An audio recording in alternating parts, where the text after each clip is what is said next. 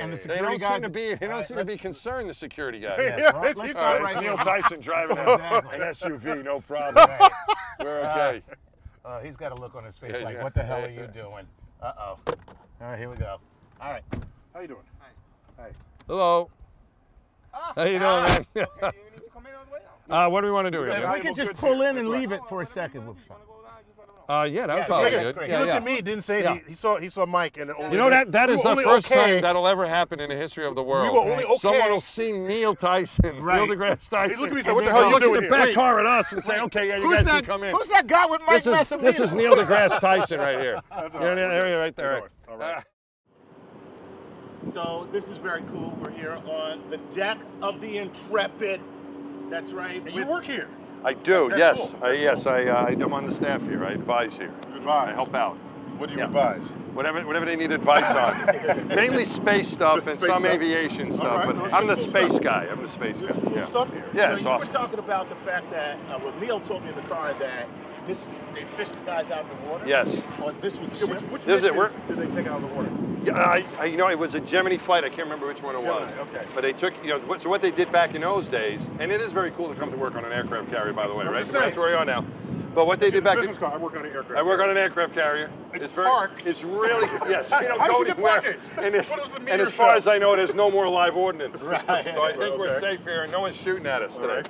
But, uh, but yeah, so what they did back in the old days, unlike the shuttle, which we also have here, which landed on a runway, they would they would uh, splash down in the ocean, and that was the way they did it with Mercury, Gemini, and Apollo. And Did so I get they it had right? It was in the Pacific.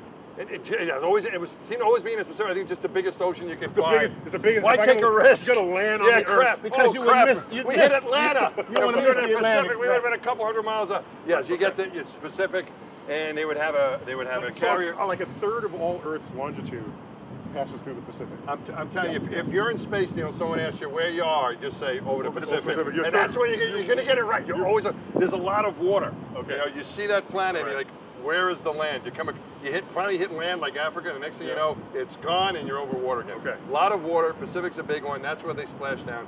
The helicopter looked like that, though. That's a Coast Guard helicopter. Coast but a- Guard, but a got Navy helicopter in the house. Yeah, that wasn't that guy. Mm-hmm. But a rescue helicopter like that would go pick the guys up, bring them back to the ship, and uh, then he would you know, get ready to come home. So I mean, that's what, yeah, so recovered spaceships on uh, aircraft carriers like this. And, uh, you know, it served in the wars and did, has a great history here now. at NASA Museum. So it was in uh, second Second World War. Second World And War and in and Korea, in, Vietnam? Exactly, yeah, Yeah. all the way, yep, yep. And uh, now it, uh, it's a museum. Any of these you fly? The Uh, only one, no, no, no. I mean, there's, you know, we got Blue Angels here. We've got an F-16. We've got a, so this is my, a spy F-16, plane. F-16 is my sentimental favorite. Why is that? Airplane. Why? It's Did you get to just one? so sleek. It is. It's just so. It's just so beautiful. It's It just like a little bird. Still being used. Very, uh, and they, the pilots, it's a re, you know, reclined cockpit. The seat, they're able to. It's like Don't a recline side me too much. Yeah, you can sit back. They love it. The pilots who flew this absolutely love it. You gotta keep them under 30. Yeah, Because when yeah. you go over 40, you're You're asleep. afraid you're gonna go to sleep? Yeah, no. I think this would keep you awake. It's Not like it was a Go- lazy yeah, boy. going to sleep. is Lazy boy. It's a lazy boy. They I put a lazy boy I in the think- cockpit. No, I- in that, and you know, see, there's only one guy too. See, in the airplane I flew in the T-38, we could take a nap because you had two the T-38 guys. right here. T-38 straight, straight ahead. That's the only airplane that I've flown in on this deck because uh, that's the only high-performance airplane Okay, I've ever flown. that's the that was an astronaut plane training. on the It is a little baby, but it is That's sleek. li- I thought you No, were it's- badass. Yeah, no, I'm not. I a, th- he told I am me. not a badass. He told he. I'm not a badass. No. Okay. Yeah, no. These guys.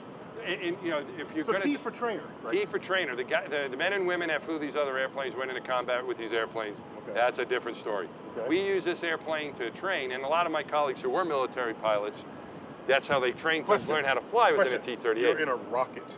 Why do you need to train in an airplane? Right. So what we what we classify that training in the airplane is space flight readiness training. So you can't go to space to practice. You have to do all your practice on the ground. In aviation, the whole aviation environment, working together with a pilot, co-pilot, working with air traffic control, flying a high performance whole machine. culture and- and it's the setup. culture. It's a culture. The it's crew, landscape. crew coordination, Okay. checklists, emergencies, Okay. mission planning.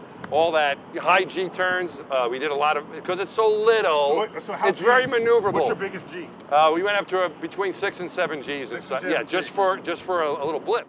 So the Yeah. plane I want to fly is that one. Why? Yeah, why is Because it's a spy plane. Bad, it's a spy plane, badass plane. And that's a fast airplane. That's much, our airplane, the T-38 is a Mach airplane, but you would have to dump a lot of fuel into the uh, afterburner to do that. You couldn't, you'd have to be pointed down to go Mach 1. That thing could cruise a lot faster than, than that. Mach so that's really plus. fast. Yeah. That you'd be going really So fast what's your and favorite really plane? high. What's your favorite plane, Mike? Oh, the T-38. Oh, really? Absolutely. Yeah, man. That's Oh, my that- that- airplane.